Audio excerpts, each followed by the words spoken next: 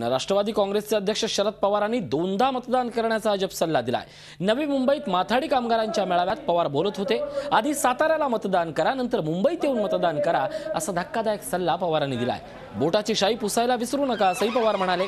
एका राजकीय पक्षाचा अध्यक्ष तसं बेजबाबदारपणाचं विधान करतो यावर आश्चर्य व्यक्त होते पवारांच्या या विधानाचे राजकीय क्षेत्रात पडसाद उमटा उमटू लागले आहेत भाजप नेते किरीट सोमय्या यांनी याबाबत निवडणूक आयोगाकडेही तक्रार केली आहे. निवडणूक आयोग यावर आता काय कारवाई करणार? याकडे सगळ्यांचं लक्ष लागलंय. सरकारची निवडणूक आणि मुंबईची निवडणूक एकाच दिवशी मंडळी गेली गावात हो. या वेळेला सरकारची निवडणूक सतरा तारखेला आणि इथली निवडणूक मला ती चोवीस तारखेला त्यामुळे तिकडे राहिल्यावर तिचा हलायचा आणि इथे तिकडे हलायचा यायचा काही टाकायची. पहिली काही पुसून टाकायचं तो घोटाळा होता. आपण या संदर्भात अधिक चर्चा करूयात. भाजपचे नेते किरीट सोमय्या आपल्यासोबत आहेत. किरीटजी आपण पवारांचे विधान ऐकलं दोनदा मतदान करण्याचा अजब सल्ला आणि त्यावर कडी करत शाई पुसण्याचा सल्ला दिलाय. आपण तक्रार करणार आहात. नेमकी तुमची काय आहे भावना?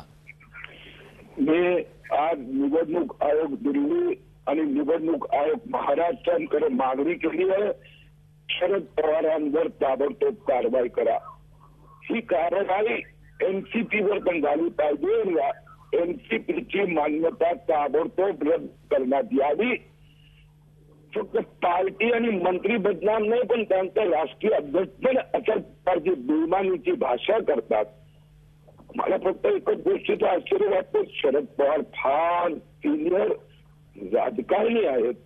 त्यांनी लोकांना असं बेमानी करायला शिकवलं म्हणजे मला पवारांना पराभव दिसायला लागलाय असं वाटायला लागलं आहे. लोकशाही हा फार गंभीर गुन्हा आहे. उद्या मी शरद पवारांच्या विरोधात फौजदारी कारवाई करण्यासाठीही महाराष्ट्राचे पोलीस डिजिटकडे उद्या सकाळी साडे अकरा वाजता कंप्लेंट फाईल करणार आहे.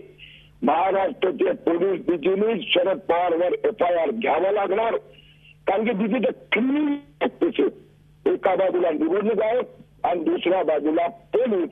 दोघांकडून मला शरद पवारांवर कारवाई हवी आहे आणि एनसीपीवर सुद्धा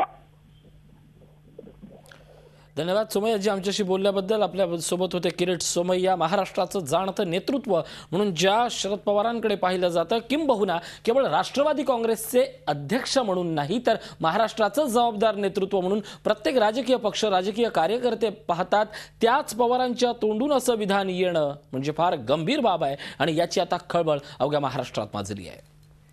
आपल्यासोबत शिवसेनेच्या प्रवक्त्या नीलम गोरे आहेत. नीलमजी आपलं स्वागत झी चोवीस तासमध्ये आपण पाहतोय.